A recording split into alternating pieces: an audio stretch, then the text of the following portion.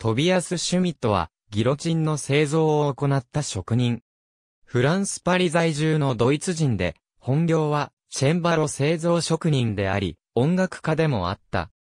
死刑執行人のシャルル・アンリ・サンソンとは、音楽仲間として親しかったことから、ギロチンの試作を請け負ったことが、始まりとなって、ギロチンの製造業者となる。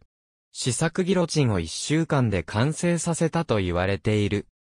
1793年6月13日にギロチンを各県に1台ずつ配置することが政令で決定され、83台ものギロチンの一括注文を受けてしまうが、当時のシュミット工房にはそれだけの反工業的注文に応えられるだけの設備を備えていなかった。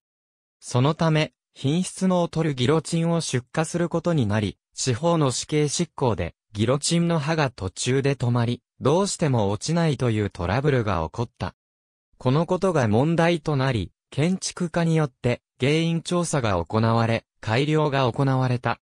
当時は巨額な公共機材調達市場の一部であった、ギロチンの製造独占権をめぐり、利権争いの結果、ノエル・クレランという人物がシュミットから独占権を奪う寸前までに至ったが、シュミットは独占権を維持し続けた。シュミット工房は2008年現在も存続しており、ギロチンや拷問道具などの特殊インテリアの受注生産を行っている。フランス革命200周年記念式典で、ギロチンの実演を行った処刑人、サンソンの子孫と称する人物は、シュミット工房の人間である。ギロチンは諸外国へも輸出され、シュミット工房が製造したギロチンで実際に死刑執行に使用された最後の製品は1918年にベルギー政府に納入されたものであり、1回だけ使用されている。ありがとうございます。